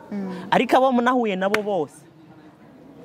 None hari shehe azongirisha ari ngo na ngo nateye imbere. Mm. ariko wa mupasiteri wa wundi mwasenganye. Mm. aka ngaka ngo gakijijwe ejo bundi ngo karandusha ibintu gute? Mm. harabaho neza gute ngo amashara asigaye mu bakristo ba- barasharikana hagati yabo. Ahubwo rero abakristo bafite amashari kuruta abapagani. None abapagani ko bicarana bagasangira icupa ryabo. Mm. iki gihe nubu n'umurokora kuguriye fanta ya sitro Mm. zavuga ati mana haracariho ifura nk'izi ubu ngubu ahubwo ko ari ukuvuga ngo arivera ngo ngo ngo ameze uku? Ngo arivera ngo ngo nubwo asenga ngo akora ibi. Niwe azabigeza kure. Jenza ngira inshuti y'abantu benshi. N'abapagani turaba ni abashuti banjye ego noneho ikibazo cya gatatu ni ni iyihe nama wogira umukristo w'uno munsi? W'uno munsi? Ego twegera imana cyane kubera ko abantu bo tubegeye cyane nabo baraduhemukira kurusha. Ego simvuze ngo abantu tubange. Kubera ko n'imana tuyegereye cyane duhuza n'abantu. Abantu baratwi- ba- baratwigije ibintu bikomeye. Ni ukuvuga ngo umukristo w'uno munsi reka kumva ko abantu ari bo wumva cyangwa se n'uba urimo kubwira umuntu ibyawe sugira icumba wibikire cyawe n'imana. Kereka ari nk'uwo mwubakanye basi reka mvuge ubu. tureke kuvuga amabanga yacu ngo tuyaheze nuko. yose. Ugira inshuti ariko ugira icumba. Ugire sekiriti uvuge ati iki? Ntacu mubwira none ko ejo bundi ari waje kukwandagaza. Ejo bundi ni we wagenda kugira iki? Je ahantu mba je uh, panze urupangu jenyine nirinze ikintu na kimwe. Sinza ngenda ngo ngiye gutembera. Zambona ngiye nko mu kiganiro nk'uko. Zambona ngiye mu gikorane. Uzambona ushobora gusonza nkaja nk'ahantu ariko pana mu mu bubare ngo nasohokeye. Kubera iki? Amamisiyo bagiye batanga ni menshi ku buzima bwanje abantu bumemukira kubera iki? Ibintu tugenda tuvuga ngo abapasiteri ngo turimo kubamenera ngo turimo kuba ngo turimo kubagwanya. Ego bungiye umuntu afashe ibuye agatera mu, gipangu. Mu bibwa byinshi igipangu kirimo ibibwa byinshi. Icyo uzumbwa ki- kibweje ibuye rizaba ryagifasha Yeah. niba ibintu tuvuga kajya kantu uzumva kahagurutse ngo ngo yatuvuze uzavuga ati aka kantu karabikora. N'akantu uzabona gatera komantere kavuga ngo ibi. Uzamenye ko dade wakabikora ego niyo mpamvu niba urebye burya abantu barareba bakazaza kudutugira. Re- rero hari ikintu cyabaye reka nkivugire hano. Hari abapasiteri bakora aya mabwa. Basigaye bariyisa amazina. Nk'uku nkahita nita ngo harivera muhimbare kuri facebook. Kugira ngo nzoze ndatuka abakozi b'imana muri komantere oh bagatukana hagati yabo. Bagatuka muri cya kiganiro amajambo bumvise abakoraho. Nk'uku hagahita haza muri komantere umuntu yitwa arivera muhimbare akavuga ngo ubu kandi ari wewe. Pana ari jewe ahubwo ari wa wundi navuze. Ari, wa mupasiteri wavuze yiyitiriye izina ry'iwanje ego ngugugugu ngo israeli wewe dawe. Ngo yego ko ngo uzi ukuntu ngo yanterese nka mwanka ngo uzi ukuntu yazabye turyamane nka mwanka. Ngo niyo ngo ngo niyo ngo byavuga uwundi ngo atari uwo. Ngo Eh. Mm, urabyumva? Mm, kugira ngo aze kunsebya mu kiganiro kandi ari wa wundi navuze. Undi akavuga ngo uwu nguyu. Ngo ya ngo niyo byavuga uwundi. Burya abantu benshi je bamvuga. Mm, ntawe turahura face to face. Ngo akubwire panambwire nta anzi kuri anzi kuri social media Mm, anzi mu bikorane anzi kuri video. None se sha umuntu araja muri komantere ngo ubu ngo ndamuzi ngo ndamuzi ngo bahano none gasha wowe nimba uzi ahantu mba. Winzu aho ntahahura nahazi n'inzu mbamo uranayinjiramo mm, urabyumva? Ego. Hari umuntu muri iyi minsi arwaye utakanza avuga ngo yiwe ngo ndamuzi ngaba ngaba mu mirango ngo kuri gatorosi yego ko mana yaremye ijoro n'isi. Ukuba bagenda bavuga utuntu. Nk'uku nguku we n'urugero. Ahantu waba aha- je ndakuzi wowe bibiri na cumi n'icyenda Mm, ndebye ikiganiro cyawe uno munsi. Ndavuga ngo uwo ngarevera ngo ndamuzi ngo yewe ngo ndamuzi neza. Noneho babasha barenzaho ngo neza. Ego. Mwebwe mudukurikiye. Je ntago ntago nza niyemera. Ariko abantu badukurikiye ni ukuri kw'imana. Ndarahiye imbere ya kamera. Mm, abantu mwebwe tumaze kwicarana. Tumaze kwicarana tukaganira. Muri mwe mudukurikiye. Andike muri komantere ngo je twaricaranye. Aca- aca anashiramo muri komantere ifoto turi kumwe. Mm, kubera iki? Ni ukuvuga ngo abantu benshi je base ntituzinanye aho dushobora kuganira. Kubera iki? Je hari ukuntu ni hari ukuntu nima abantu noneho hari ukuntu ubu ngubu turimo kugenda tukagabana ugahora niba n'umukobwa ngo yemba barira twifotoranye mwawe gataba ni abazimu. Ntuzisubire. Byarabaye kera ariko nta nubwo ari amafoto menshi. Ego. kubera ko nyine abavanga agenda atwike noneho hakaba n'abandi bantu baca barisha ibi bintu. Mm, agapositinga ifoto yiwe none agatangira kwiba abantu bakoresheje ibi. Noneho n'ikindi naco wenda niba uza kumbaza kandi sinzi tugiye gusorezaho. Hari abantu bitira amazina y'abakozi b'imana runaka. Mm, kugira ngo baze biba abantu canke babahenda ego nanjye hari abanyitirira kuri facebook. Nibyo. None ibyo ngibyo muze mubiberaho maso. Nimba mwese muri kuri social media mukoresha amantuzi mutajenda guhenda ngo ndu. Wambwiye ati reka dukore kuri video. Ngo hoya ngo ndi mu kazi ndakurindira mu ijoro tuze kuyikora ndebe kuri wowe ariko barimo kwibwa ku busa busa umuntu ngo we abandi nabo rero wa muntu bibye ikibazo kiba aca ashaka umu- umunyamakuru. Agahita aza agasebya ngo warivera ngo yandiye amafaranga ashanga mbeshe ngo arankunda. Kumbe ntiyari wowe urimo kubigwamo. Rero twebwe nimba dusenga tuze twiga n'abantu tuvuge tukuri kuri uku tumenye ukuri ko tureke kuza ducafuza abakozi b'imana. Gusa abantu babyiyitirira atari bo imana izobahana mureke nka nimba ari abantu imana yahagurukije mu kuvuga ubutumwa bwiza.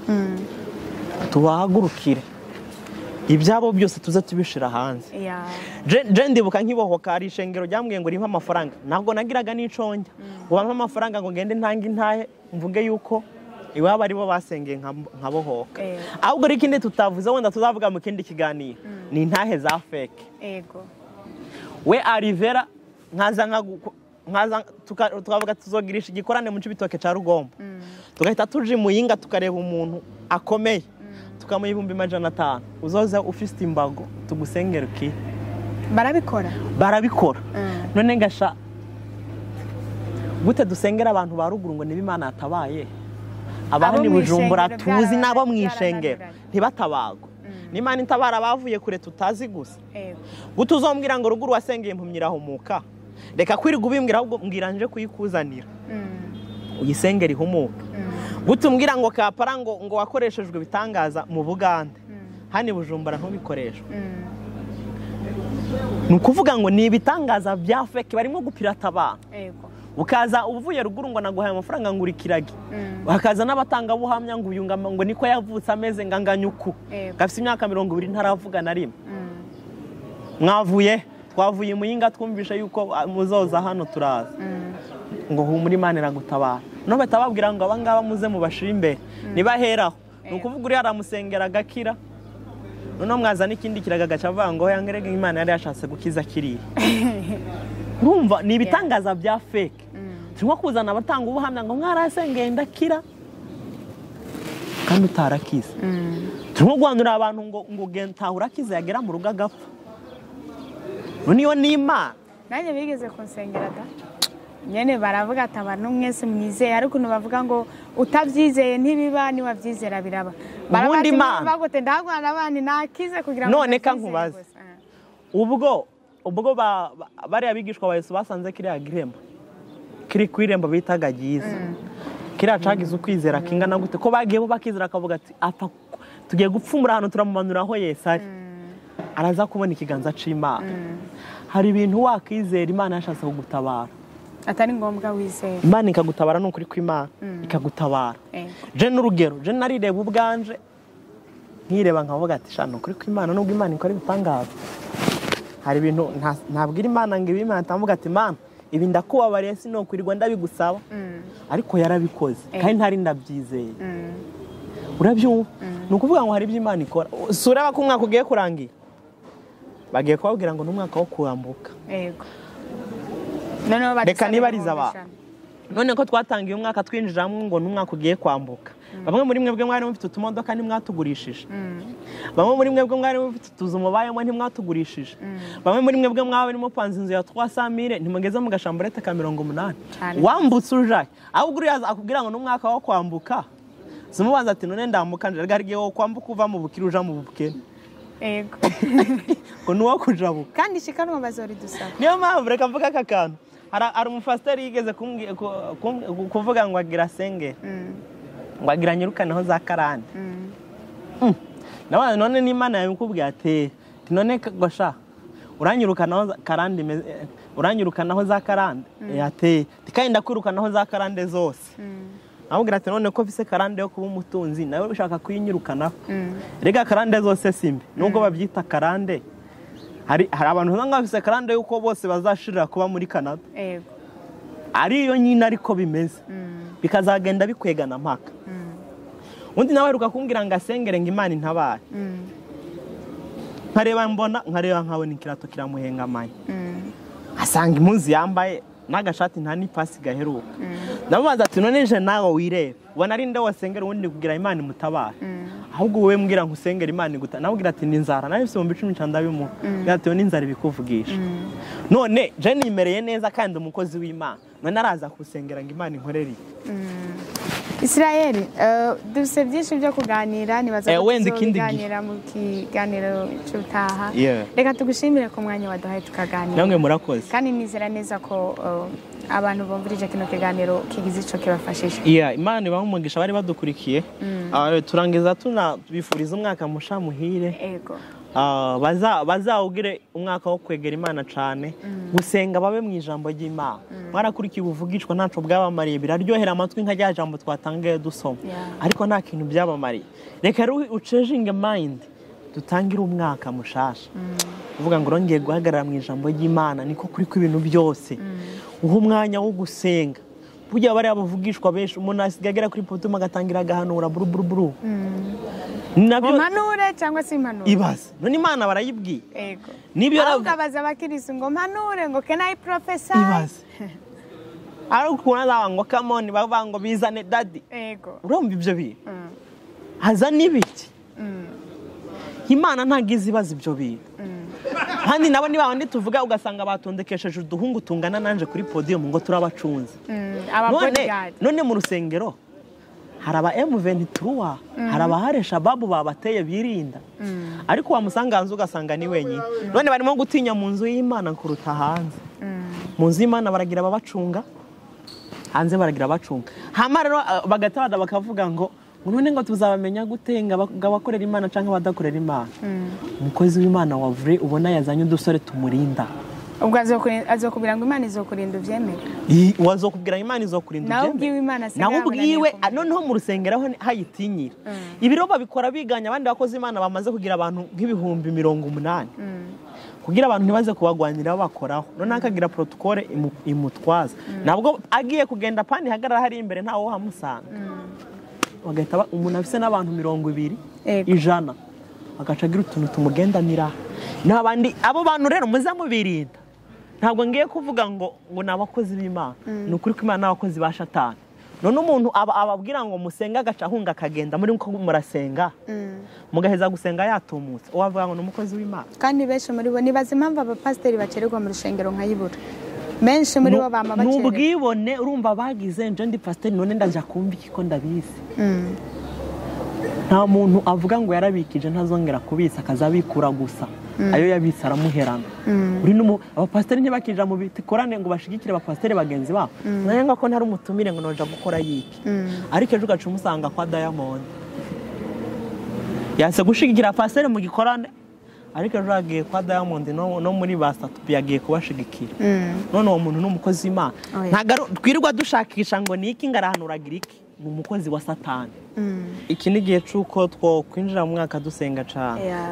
Ah, ah, nasomye ijambo ry'imana rivuga ngo ngo gutinya abantu bigusha mu mutego. Mm. ngo ariko abiringira uwiteka bazaba mu mahoro. Iki gihe hari ibintu turimo gutinya kuvuga ngo abantu boduseka ngo abantu bahita badufata nabi ngo aba- ngo twaba tubameneye amabanga. Mm. hari abantu badukurikira bari muri za arabiya sawudite n'ibindi bihugu. Mm. niwataha porofete yarakwibye uzagende kumwishyuriza kuri podiyumu Mm. pana ngo muzobihereza. Nugenda kuri podiyumu ni ho n'abantu ni ho bazo- bazobitabira muri benshi. Yarakwibye amafaranga yawe uri igihugu cyose urimo. Zuza uzomureka aje kuri podiyumu ugendeyo.